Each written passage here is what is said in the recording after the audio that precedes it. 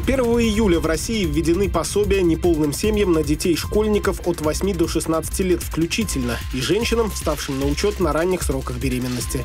Представители «Единой России» рассказали о том, как воспользоваться новыми мерами поддержки семей с детьми. Кроме этого, в партии отметили, что 854 миллиона рублей из областного бюджета направлено в Министерство семейной, демографической политики и социального благополучия на соцподдержку отдельных категорий граждан. Всего же на развитие социально значимых отраслей отраслей в областной казне дополнительно предусмотрено почти полтора миллиарда. Представители регионального отделения ЛДПР встали на защиту людей с ограниченными возможностями здоровья и указали представителям муниципальной власти на то, что программа «Доступная городская среда» дает сбой, и социально незащищенные категории граждан от этого страдают.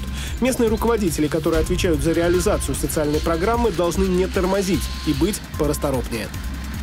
А вот «Справедливая Россия» взяла паузу. Сергей Миронов приостановил полномочия всех членов Совета и контрольно-ревизионной комиссии регионального отделения партии «Справедливая Россия. Патриоты за правду». Соответственно, отменяются все предыдущие решения партии ячейки. Новую верхушку партии будут избирать 18 июля во время региональной конференции.